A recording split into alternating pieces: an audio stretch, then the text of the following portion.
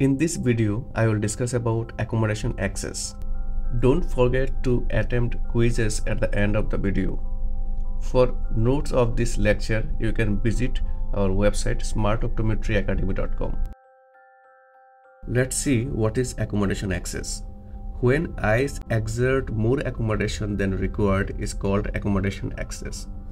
In accommodation excess, accommodative response is higher than the accommodative stimulus.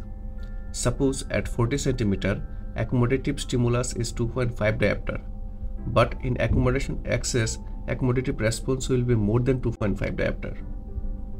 Accommodation excess is more common in the condition where rays focus behind the retina like hyperopia, overcorrected myopia, undercorrected hyperopia.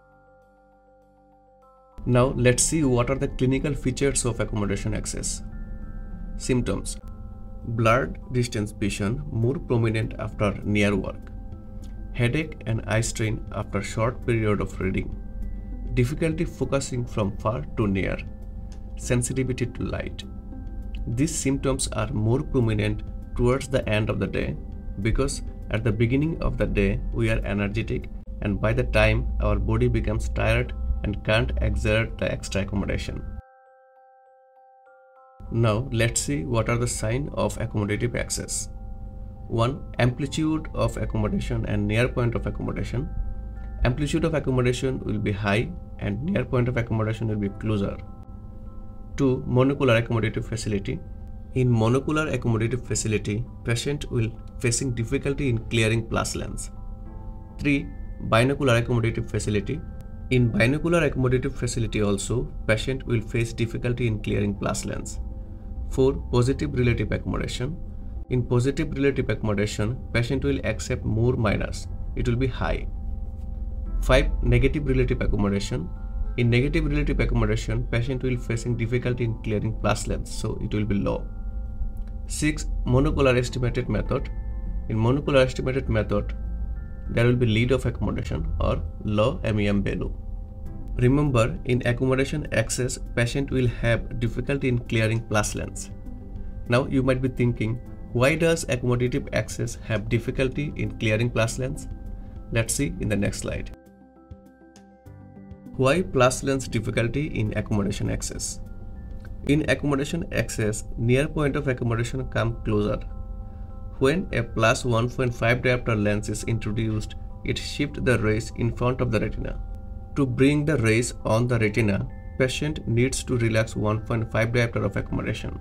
But as patient has accommodation excess, it can't relax the required amount of accommodation and make the image blur. Thus, in accommodative facility and negative relative accommodation, patient with accommodation excess face difficulty to clear plus lens. Now, management plan for accommodation excess non-strabismic binocular anomalies management plan divided into following categories. Let's see what are the protocol for accommodative excess management. 1. Refractive correction. Refractive correction should always given in accommodative excess patient. 2. Added plus lens. Added plus lens is not indicated in accommodation excess. 3. Prism. No prism is indicated in any accommodative anomalies. 4. Occlusion therapy. No occlusion therapy is indicated in any accommodative anomalies. 5. Vision therapy. Vision therapy is primary treatment option for accommodative excess patient. 6. Surgery. No surgery is indicated in any accommodative anomalies. So, overall, the management of accommodation excess include 1. Refractive correction 2. Vision therapy. Now let's see how to give correction in accommodation excess patient. How to give refractive correction in accommodation excess patient. Accommodation excess mostly associated with hyperopia. In hyperopia, the total converging power of eyes is decreased and rays coming from infinity focus behind the retina. When rays focus behind the retina, accommodation gets stimulated and bring back the rays on the retina. But as accommodation has to work more than the required to bring the rays on the retina, ultimately it ends up with accommodative excess. To correct hyperopia, we can follow maximum plus for maximum vision. But remember, in hyperopia, eye accommodates for both near and distance. That means when we are doing refraction of a hyperopic patient, accommodation is already activated. So some amount of hyperopia is already corrected by accommodation when we are doing refraction.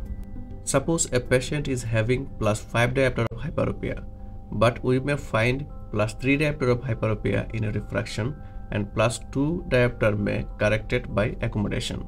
So when we will place a plus 3 diopter lens in the trial frame, patient will read 6 by 6 line though the actual power is plus 5 diopter. Thus in accommodation excess always better to do cycloplegic refraction or fogging for the final prescription.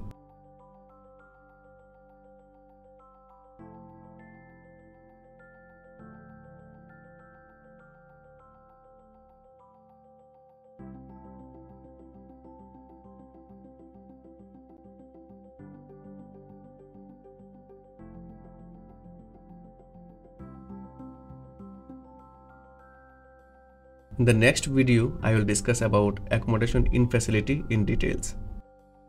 Till then, stay with smart optometry and study optometry smartly.